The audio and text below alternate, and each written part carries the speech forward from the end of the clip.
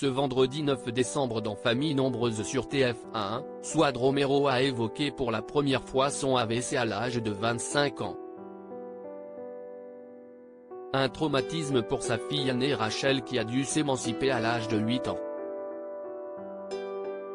Après six semaines d'absence en raison de la quotidienne de la Star Academy, les Romero ont fait leur retour dans Famille Nombreuse, la vie en XXL sur TF1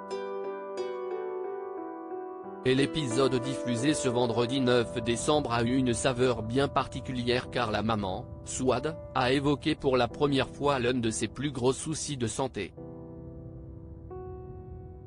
En 2006, la jeune femme, âgée à l'époque de 25 ans, a été victime d'un AVC.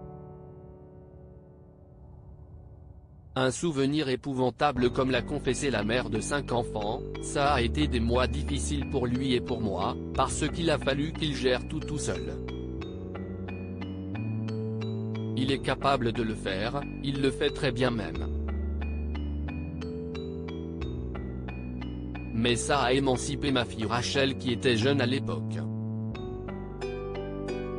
CIST une battante, une guerrière sa fille aînée justement, qui a publié ce vendredi un cliché d'elle toute petite sur son compte Instagram, a vécu la vie ici de sa mère comme un traumatisme.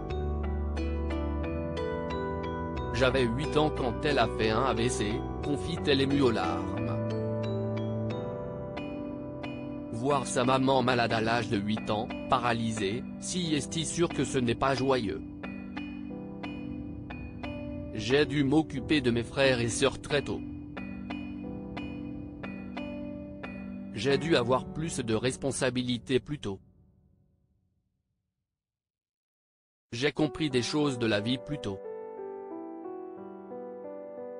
Toute cette période-là de ma vie a fait la force de ce que je suis aujourd'hui, après ça m'a surtout montré que, quand j'ai une situation négative, je la prends toujours avec du positif parce que, derrière chaque épreuve se cache un bien. Du haut de ses 20 ans, la jeune Rachel salue le courage de sa maman, quand elle a pu se remettre de la vie ma mère a tout le temps été une femme souriante, agréable. Mais là, ça l'était deux fois plus. On peut dire que si est une battante, une guerrière même. L'amour plus fort que la maladie en la qualifiant de battante et guerrière, la fille aînée de Swad ne croit pas si bien dire car elle a pu compter sur le soutien sans faille de ses enfants et aussi de son mari Mario, si est-il vrai que ça nous a renforcé deux fois plus? On ne sait pas ce qui peut nous arriver dans la vie. Si est pour ça qu'on est positif, dynamique, on aime voir les gens heureux. On essaye d'avancer dans la vie. Ça crie, ça chante si est ça le vrai bonheur. Comme quoi, même dans les dures épreuves, l'amour est toujours plus fort. À lire aussi Suad Romero, famille nombreuse, victime d'un AVC à 25 ans, la maman se confie sur ce traumatisme.